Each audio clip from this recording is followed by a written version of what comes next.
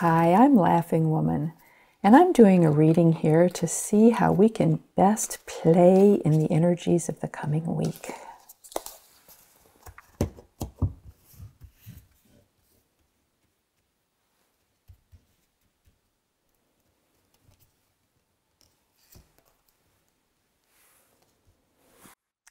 The first card is Mystic of Earth, Frugality.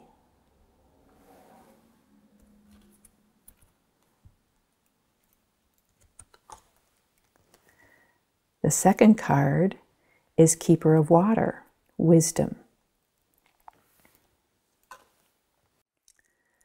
The third card is Three of Water, Loyalty.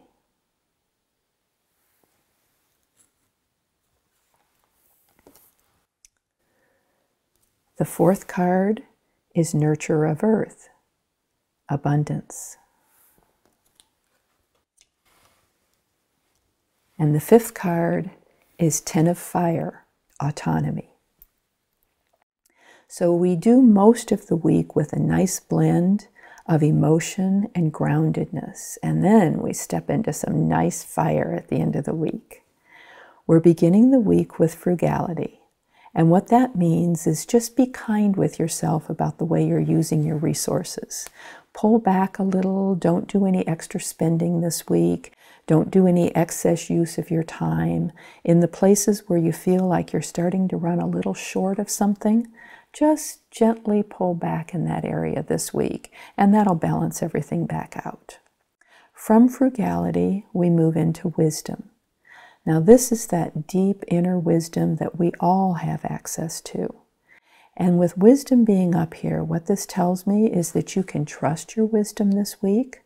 When you're feeling something, when you're knowing something, chances are it's really true. Go ahead and express that in some way. This also indicates that there's a need to use some wisdom in your interactions this week. So instead of just being spontaneous and off the cuff when things come up that are abrupt or startling or send you in a different direction, pause for a second and ask yourself what would be the wise response to this and go from there. In the middle of the week, we're experiencing loyalty. And what this is, is it's probably mutual coming to us and going from us. And this is loyalty to either ideals or people. Typically, because this is emotional, this is loyalty to a group of people that we're part of and feel very close to. Enjoy that sense of tribe, that sense of belonging that comes along with that loyalty, and pay close attention during the middle of the week to tending to the loyalty that you have for your friends. Don't do things that undermine the beauty of those relationships. Then we move from loyalty into abundance. Abundance just says there's plenty of everything. This is the other end of having made the choice at the beginning of the week to be frugal. You've held back where you needed to, and now you have plenty. That's the reward. Enjoy your abundance in whatever way it shows up. From that abundance, we step into autonomy at the end of the week. And all that autonomy is telling us is I've got everything I need to go do it on my own. I'm fine. I have my resources, I have my knowledge, I have my willpower, and I'm heading out on whatever that adventure is. So, in summary for the week, be a little bit frugal and, and conservative in the use of your resources at the beginning of the week.